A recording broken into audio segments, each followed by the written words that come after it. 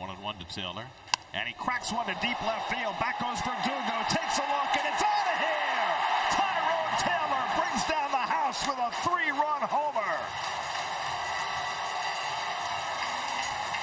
Third home run of the year for Taylor. And the Mets reassert themselves.